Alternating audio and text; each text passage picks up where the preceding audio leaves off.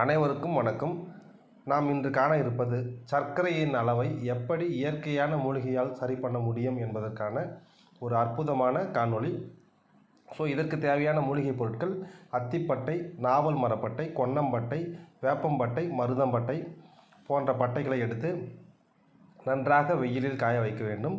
பிறகு சிறு குறிஞ்சான் இலை ஆவாரம் இலை போன்றவற்றை எடுத்து அதையும் வெயிலில் நன்றாக காய வைத்து பதப்படுத்தி வைத்துக்கொள்ள வேண்டும்.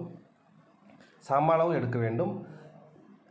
இந்த மேற்சொன்ன மூலிகைகள் அனைத்தையும் எடுத்து உரலில் போட்டு இடித்து அதனுடைய பொடிகளை மட்டும் சலித்து வைத்துக்கொண்டு தினமும் காலையில் ஒரு ஸ்பூன் எடுக்கும் பொழுது நல்ல ஒரு மாற்றம் நாம் காணலாம்.